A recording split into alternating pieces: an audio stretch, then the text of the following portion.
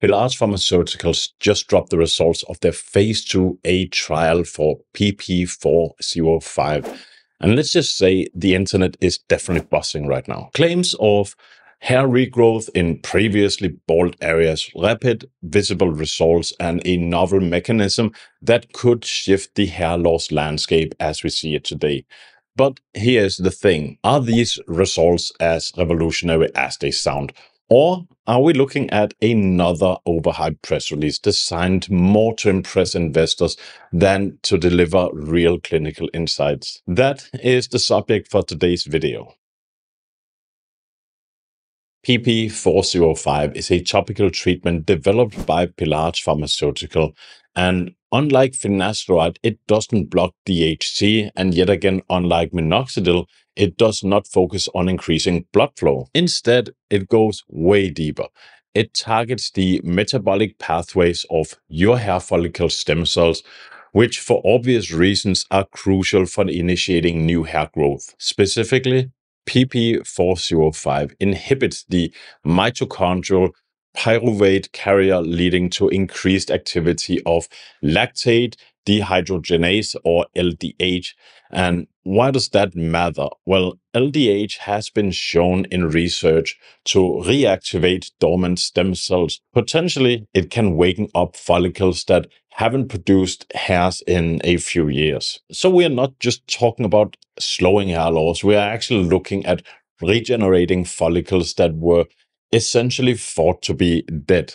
The phase 2A trial included 78 men and women with androgenic alopecia, also known as male pattern baldness. They applied PP405 topically once daily for four weeks, followed by 12 weeks of monitoring. And the results by week eight, 31% of the treated participants has more than 20% increased hair density. Meanwhile, the placebo group showed no such improvement. But let's be honest for a second 20% sounds great, but what does it actually mean? If somebody starts with, let's say, 40 hairs per square centimeter and a 20% boost equals only eight new hairs, which is not a lot to boast. But then again, 20% is still something if you are looking at 100 hairs per square centimeter. So it might still have a lot of potential depending on what the numbers of hair that was recovered in the study was, especially when you consider that most treatments take three to six months to show visible results. PP405 is working in just weeks. And what is also important is that the study confirmed no systemic absorption which is critical because mitochondrial pathways is impacting all of our cells. The fact that it stays local on the scalp just makes it so much safer to look at. But as exciting as this sounds, we need to keep our expectations in check. Because here's what we don't know. We don't know anything about the full results from the full 12 week follow up period. No actual hair count figures or before and after photos were released. There's no statistical values like p values or error margins. And most importantly, no peer reviewed paper yet. This data came from a press release and not a scientific journal.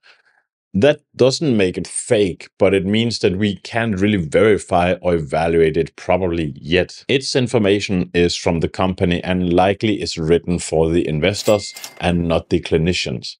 So just keep that in mind when we're looking at the data. But what about comparison to finasteride or minoxidil? This is where things get really interesting because PP405 doesn't mess with hormones, which alone is a huge win for people who wants to avoid finasteride due to the risk of sexual side effects.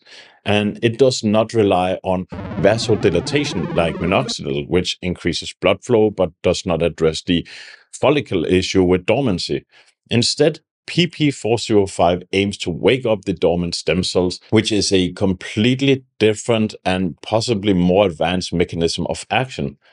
That said, don't expect it to outperform finasteride or dutasteride across the board just yet. The current data does not suggest that it can match those medications in total regrowth, but it might fill in key gaps, especially for stubborn areas like the temples or the crowns, which personally I also struggle with.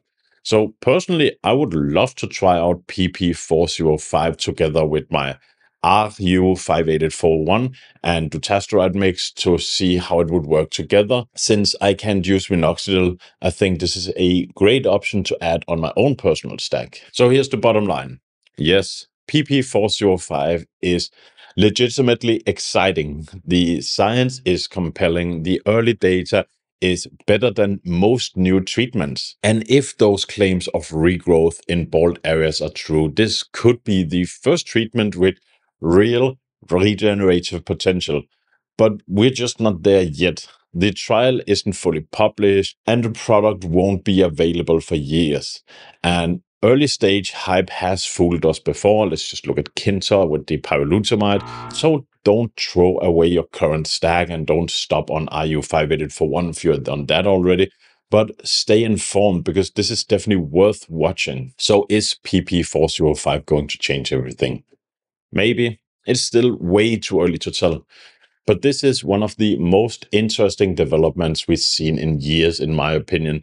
And I'll be covering every step of this as it moves into phase 2B. So if you want to know more about how Pelage Pharmaceuticals is developing PP405, make sure to hit the like and subscribe button and I'll see you in the next video.